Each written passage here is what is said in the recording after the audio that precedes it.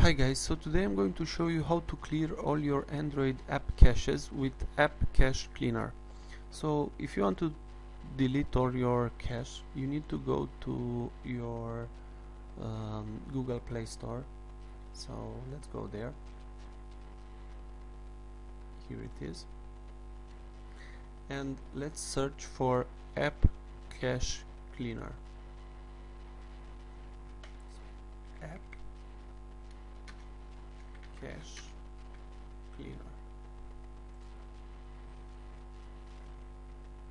here um, you can install different apps.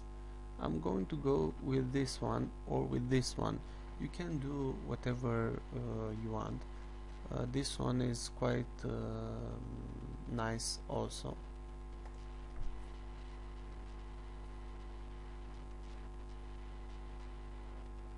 and press install. Accept.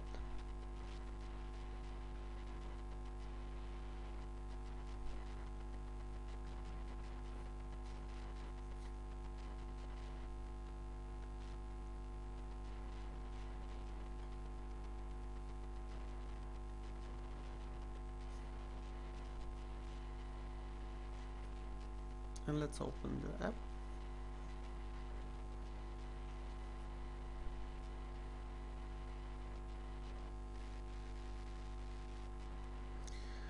so you will get something with a license uh, and you have to agree because if you don't agree that will not work.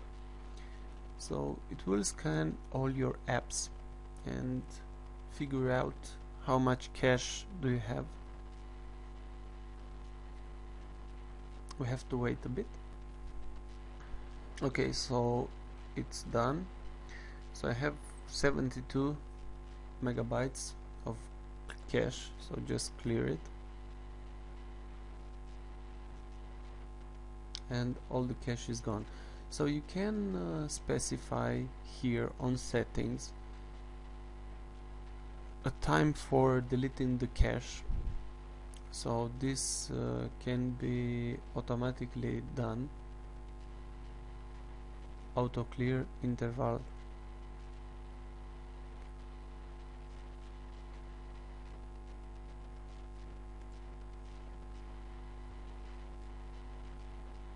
so you can do this and select a different uh, time for for clearing the cache. Thanks for watching and subscribe. If you have any more question and leave a comment below. Bye bye